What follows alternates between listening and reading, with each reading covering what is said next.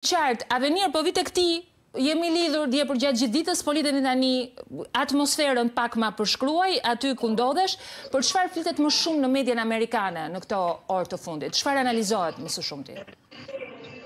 Siç dhe siç të kam thënë edhe dje, atmosfera këtu është njësoj si dje, mhm. nuk ka asnjë shenjë të një fushate elektorale, nuk ka asnjë shenjë të zgjedhjeve, qytetarët vazhdojnë jetën normale, Përveç pak makinave që dolën dje me flamujt e presidentit Trump, nuk ka pasur po. asnjë shenjë tjetër që mund të dallohet me një sy të lirë nga një qytetar, po themi i huaj. Jeta vazhdon totalisht normalisht.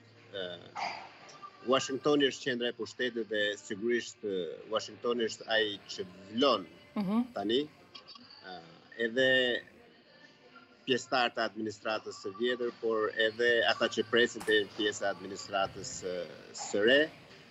Kështu që këtu në periferi është një qetësi qetësi e jashtëzakonshme, e admirueshme, ka pasur një sistem zgjedh, ka pasur një zgjedhje proces zgjedhor dje krejt të paqtë, krejt paqësor, ndryshe nga ajo çfarë kemi parë në, në media apo në, në rrjetet sociale.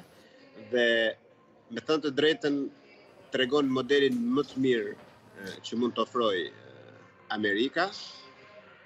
Ajo çfarë pritej mbrëmë ndodhi, rezultati ndryshe nga ç'pritej doli menjëherë për shkak se fitorja ishte plebishitare.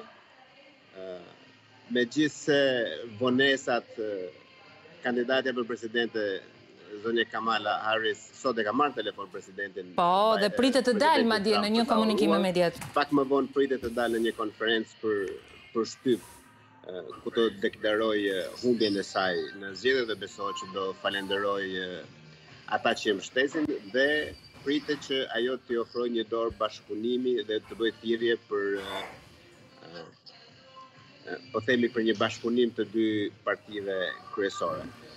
Madje sot po lexoja, edhe po dëgjoja podcaste të ndryshme nëpër rrjetet prestigjioze ndërkombëtare, të cilat flisnin që në emër të një pajtimi të kombit, që është shumë i nevojshëm në këtë moment që ne flasim për shkak polarizimit të skajshëm në Shtetet e Bashkuara, flisin edhe për ato që mund të bënte Trump në fakt në raport me ish kandidatin Biden, për një falje të mundshme, ndoshta në, në gjykata të, të, për akuzat e shumta ndaj djalit të tij dhe dënimin e djalit të tij. Pra flitet përflitet të paktën në media për një frymë paqësore që duhet të përshkojë, po themi ne, jetesën e Shteteve të Bashkuara të Amerikës. Duket sikur ka një shqetësim të brendshëm për një polarizim të mëtejshëm gjatë tranzicionit të pushtetit?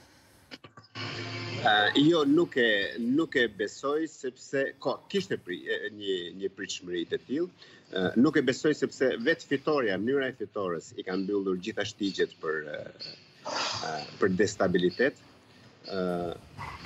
Por pritet që Trumpi me ekipin e, e tij të lëvizë shpejt edhe në aspekt të politikës brendshme, po edhe në aspekt të, të politikës mhm. jashtme. Uh -huh. uh, unë nuk besoj që presidenti Trump ka pasur ndonjëherë problem me, ish, me, me presidentin Biden apo edhe me zëvendëspresidenten Kamala Harris. Problemet pa. Po. e tij kanë qenë me establishmentin dhe me ata që kanë qenë prapa këtyre.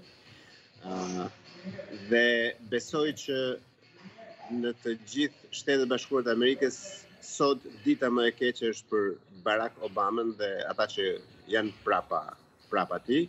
Mm -hmm. uh, me Bidenin besoj që ka pas, duket sikur ka pasur një, një bashkëpunim në distancë midis Trumpit dhe Bidenit, kujtojmë këto gjeste që ka bërë dhe veprimet që ka bërë ai gjatë fushatës.